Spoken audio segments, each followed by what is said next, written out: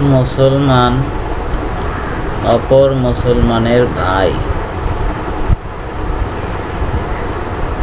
সে তার সাথে বিশ্বাসঘাতকতা করবে না। তার সম্পর্কে মিথ্যা বলবে না।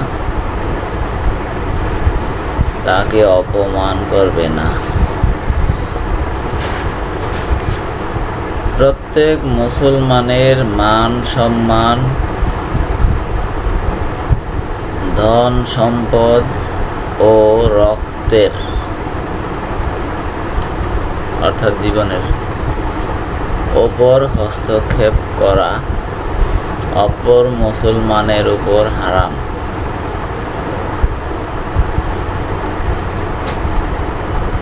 তাকোয়া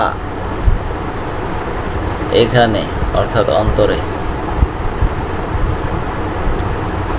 কোনো ব্যক্তির মন্দ প্রমাণিত হওয়ার জন্য এতটুকুই যথেষ্ট যে সে তার অপর মুসলিম ভাইকে তুচ্ছ জ্ঞান করে।